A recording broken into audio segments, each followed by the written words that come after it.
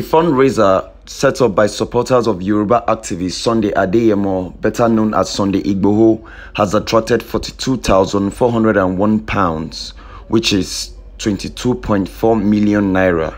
This is just as Governor Sheyi Makinde of Oyo State set up a peace committee to address the rising ethnic conflicts in the state. A blogger, Maureen Badejo, had two weeks ago set up the GoFundMe page for the purpose of raising £100,000, which is 51.8 million naira for him to buy buses to implement his project of ridding the southwest of killer headsmen. Igboho had, had issued a seven-day ultimatum to headers in the Ibarapa area of Oyo State, blaming them for kidnappings, killings, destructions of farmland, and insecurity in the state. After confronting the headers in Ibarapa with some youth in the area at the expiration of the ultimatum, he moved to Ogun State and was received by thousands of youths.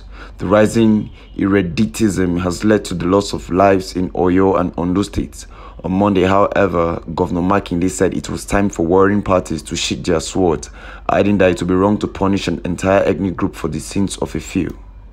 Makinde said a whole tribe, ethnic group, profession or gender must not pay for the sins of one individual. It is totally unacceptable for any individual or individuals to take the law into their hands. This is jungle justice, or your state is not a jungle.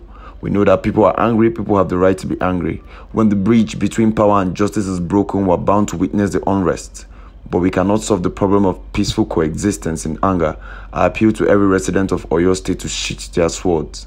People have been wronged, I acknowledge this.